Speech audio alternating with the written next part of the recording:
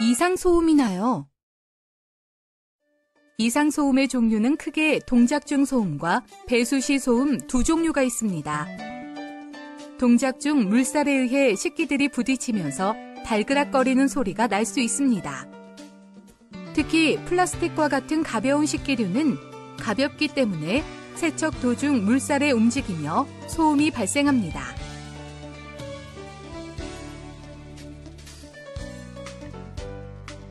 식기에 맞는 접시 꽂이를 활용해 고정시켜 주세요.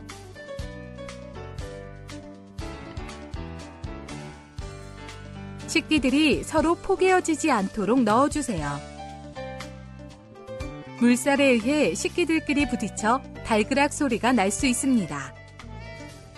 제품의 세척 날개와 식기가 간섭이 될 경우 식기가 세척 날개의 회전을 방해하여 쿵쿵 소리가 날 수 있습니다.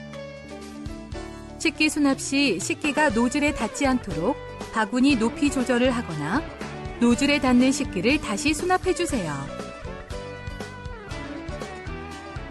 동작 중 꼬르륵 하며 물 빨림 소리가 날 수 있습니다.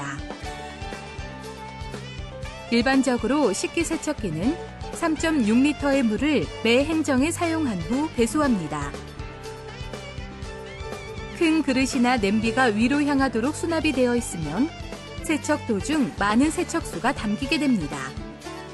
이 경우 세척 날개가 회전 시 필요한 물이 부족하게 되어 제대로 물을 뿜어내지 못하고 물이 빨리는 소리가 날 수 있습니다. 식기의 오목한 부분이 아래를 향하도록 수납해 주세요.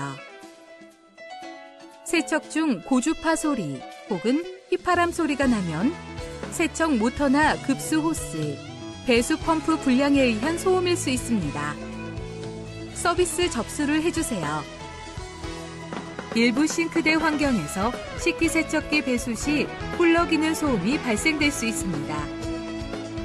식기세척기 배수 과정에서 다량의 물이 하수관을 통해 배수가 되며 두 종류의 소음이 발생합니다.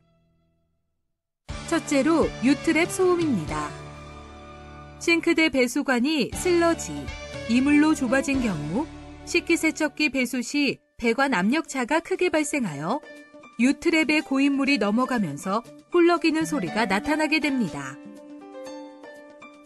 이러한 소음은 싱크대에 물을 담아놓고 배수를 할 때 나타나는 소음과 유사합니다. 배관 청소제 또는 청소 용구를 이용하여 배관 청소를 해주시거나 배관 청소업체에 연락해주세요. 배수 소음을 줄여주는 것과 동시에 싱크대 배수를 원활하게 도와줍니다. 필요시 배관 청소 업체에 문의하여 배관 청소를 해주세요. 둘째로 낙차 소음입니다. 배수관에서 떨어지는 물이 바닥 하수관에 부딪혀서 나는 소음입니다. 수도 배관 업체에 연락해 배수관 길이를 연장하여 재설치해 주세요. 감사합니다.